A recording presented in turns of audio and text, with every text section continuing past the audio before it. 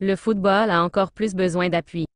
L'élimination de la sélection nationale haïtienne de football, dès le premier tour de la Gold Cup, ne doit décourager personne. Le football est une longue suite de défaites, de victoires, de déceptions, d'aventures. Il y a les matchs d'hier et surtout ceux, encore plus nombreux, de demain. Au plus vite, le comité en charge de la Fédération haïtienne de football doit clarifier le statut de l'actuel entraîneur.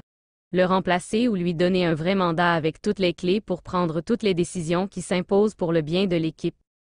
Dès ce mois de septembre, Haïti est engagé dans une nouvelle compétition.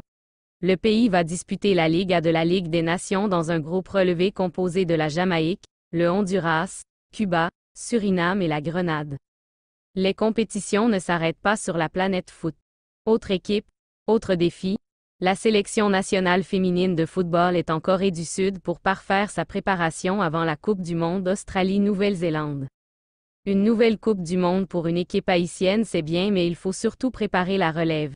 L'équipe féminine qui a représenté le pays au Jeux Center américain et de la Caraïbe au Salvador a fini bon dernier de son groupe.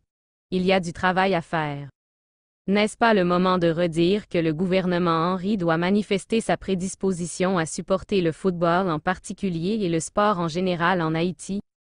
N'est-ce pas le moment pour les différentes fédérations et pour le comité olympique de préparer leurs plans et budgets en vue de formuler des demandes alors que le prochain budget national se finalise? N'est-ce pas le moment pour que tous les concernés, du sport scolaire au plus haut niveau, cherchent à mettre sur pied des championnats hors de la région métropolitaine? Il faut un peu plus d'ambition et d'initiative.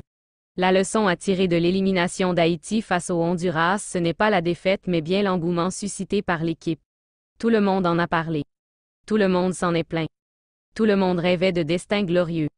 La passion pour le sport et pour les exploits est intacte chez les Haïtiens, il faut que le travail et les moyens financiers se mettent à son service.